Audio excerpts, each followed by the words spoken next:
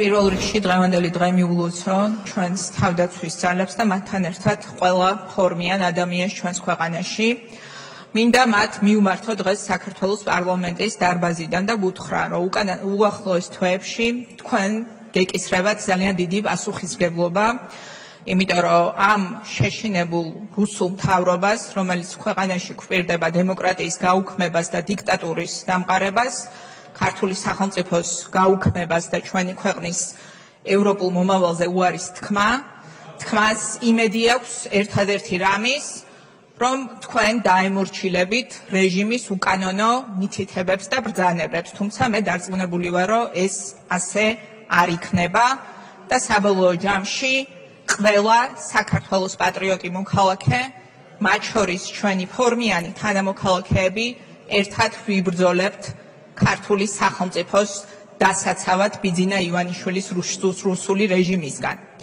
რაც შეეხება გუშინდელ თავყრილობას, მე ვფიქრობ, რომ გუშინდელი დღე ძალიან მნიშვნელოვან დღეს შევა ჩვენი ქვეყნის თანამედროვე ისტორიაში, იმიტომ რომ გუშინ ჩვენ დავინახეთ, რომ ივანიშვილს და მის რუსულ რეჟიმს არანაირი მომავალი ამ ქვეყანაში არ აქვს. არ აქვს მომავალი, იმიტომ რომ გუშინ ბიძინა ივანიშვილი დადგა, გაბედა და დადგა იქ, სადაც ქართველებმა სისხლი დაღვარეს საკუთარი სახელმწიფოს დამოუკიდებლობისთვის ბრძოლაში და გამოგვიცხადა, რომ აპირებს პროვინციულ ლუკაშენკოთ გადაქცევად, აპირებს უარი თქვას ქართულ სახელმწიფოზე, უარი თქვას ჩვენი ქვეყნის ევროპულ მომავალზე.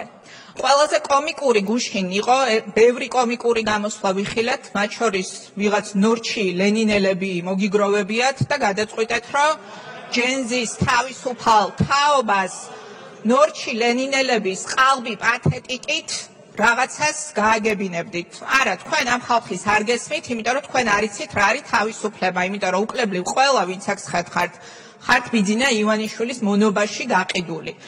ეხლა რა შეეხება გუშინ კომიკურ გამოსვლებს ყველაზე კომიკური იყო ალბათ კახა კალაძის გამოსვლა, რომელმაც მიმართა ხალხს და უთხრა, რომ თბილისი აქ დგასო. თბილისი გუშინ არ იდგა, მაგრამ ეს არ არის თავარი, არც თბილისი დადგება, არც ქუთაისი დადგება, არც ბათუმი დადგება, არც თელავი დადგება, არც ახალციხე დადგება, არავინ არ დადგება მოღალატე ხელისუფლების უკან.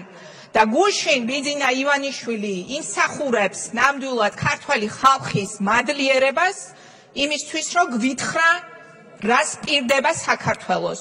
რას პირდება ერთი ვიღაცა გაუგებარი გზებით გამდიდრებული კაცი საკუთარი ფულის დასაცავად გაბედა ივანიშვილმა და გადმოდგა და გასაცოდავებულ ხალხს მე ვნახე ეს ადამიანები გუშინ რომლებიც ჩამოვიდნენ, ჩამოვიდნენ თბილისში და მიხარია რომ შესაძლებლობა მიეცათ რომ აქ ჩამოსულიყვნენ გაღატაკებულები, დამშეულები, ორ კაპიკზე რომ მზად არიან რომ რაღაცა ოღონდ ორი კაპიკი მიიღონ და თბილისში გამოისეირნენ. ხო არ გონიათ რომ თქვენთვის ხმის მიცემას აპირებს ეგ ხალხი?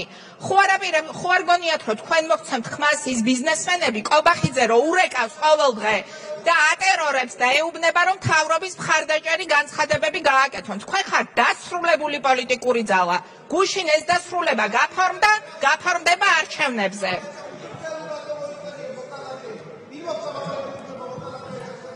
თქვენი გაღატაკებული მოქალაქეებს მოიხსენიებ, რომელსაც გადმოუდგა ბიძინა ივანიშვილი გუშინ და ისიც კი არ უნდა რომ ეცვა რომ რამეს პირდება. დავწმარდეთ თუ შეიძლება. დამშაულ დაუბედურებულ ხალხს.